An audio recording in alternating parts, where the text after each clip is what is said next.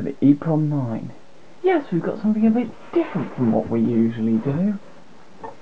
It's my newly recently acquired Geiger counter.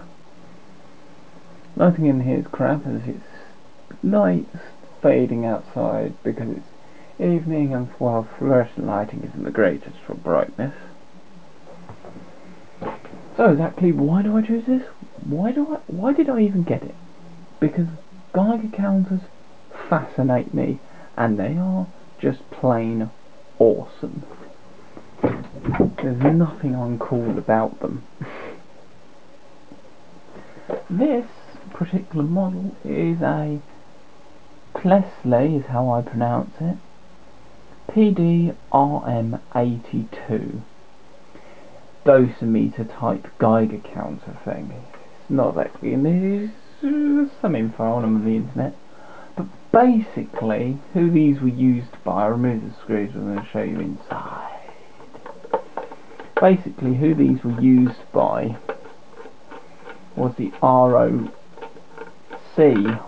officers during the Cold War because they originated in World War One to observe for airfall planes to observe because the Blitz didn't just happen in World War Two. It happened in World War One as well with airships, and they were there to detect anything coming overhead and identify it as hostile, hostile or friendly. Now, throughout World War II, they got branded the Royal Observer Corps. Corps because, from just Observer Corps, because of the work they did in spotting. Because the radar system we had in World War II was very directional. It only detected outwards. So in land we relied on these people. But that's not where this comes into play. During the Cold War, loads of posts were set up for the monitoring of nuclear events. So if a nuke came down, it, these small little bunkers would measure the power of the blast. There'd be a specialist pinhole camera on top that would capture the blast, whether it was a airborne blast or ground blast. Measure the force of it and judge the size and of course measure the radiation levels of fallout. If that and this is one of the tools I use. There's three models of this. One with F which has an external Geiger tube that goes up to the one to measure it externally from within the bunker and this particular another one which is similar to this but green don't know the differences and this particular model I've got the one which is green is M and this one's just 82 now what this is is for measuring high radiation levels only so you don't pick up background radiation. Whoops we'll just pop that back on. You get in there. No it's not having it so we'll show you inside. Now inside the Geiger counters it's all computer controlled, microcontroller, 1985. Even the date codes of the chips agree with me. Ceramic chip there, we'll bring it in closer. Geiger tube there, only to detect gamma radiation. And of course your batteries there, and various inverter circuit stuff for the Geiger tube cap I don't know the specifics of how the circuit works, including a nice LED that glows when you switch it on. So if we pop it on, it'll go to test and then it'll go to 00, zero or fail if it fails. You, oh yes, you can see the LED glowing quite brightly on the camera. By any chance, this is an IR? It's gone to 00. zero. Now this can't pick up low level radiation sources.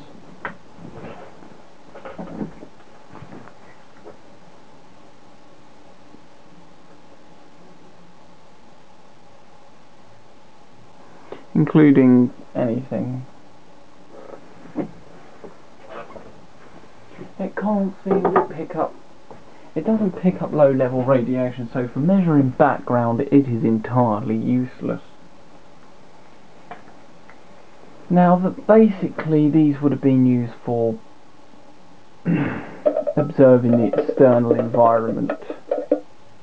The microcontroller's there, nice LCD, which is non-multiplexed there micro there and I haven't identified that chip.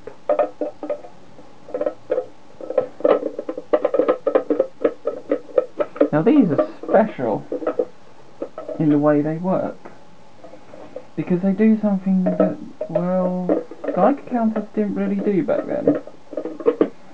This is able to self-test itself. Now that's just not a circuit test you've got here.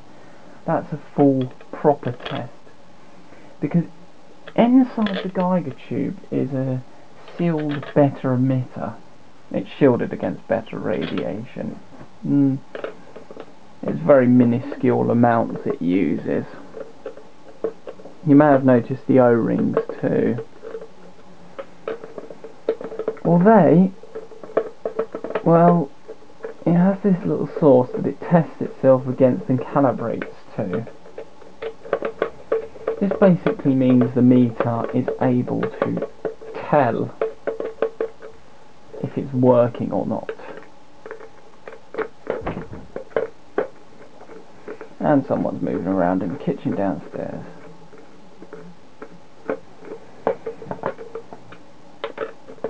Now of course this yeah we've got a few minutes left.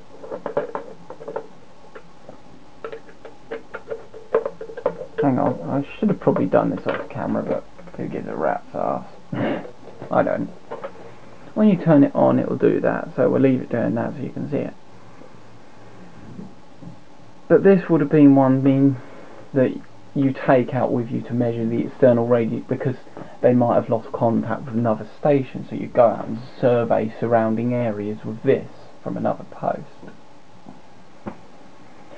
Now, this came box, nice box here, nice and old. This is a strap that goes around your waist. You may have seen it on my last 700 review, PB700 game review type thing. And this is your like neck strap, which is not particularly comfortable. And bare bones basic instructions for bare bones basic easy to use device. It is awesome and a piece of history. Now the O-rings make it at least water resistant, if not fully waterproof.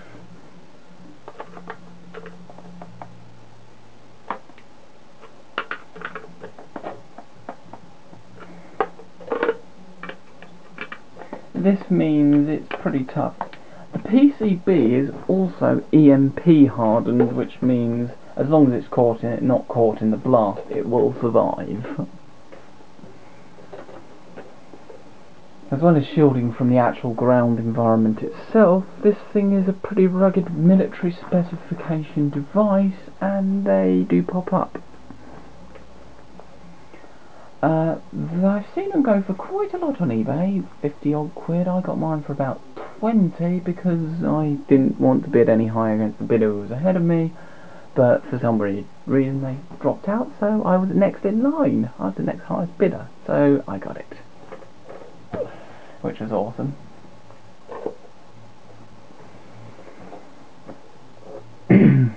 now these were issued in 1985. I'm not sure what they had before this, but it's bare bones basic survey meter. Basically, if you pick anything up on this in war, non-war time, you should probably think about clearing the area and of course, they are very good on the batteries, with 400 hour battery life, and they don't take any stupid specialist batteries, taking standard sort of big ass torch batteries, C cells as they're known. Three of them, which is a bit awkward, because odd numbers always are with batteries, but they always come in fours. But the battery does last a long time.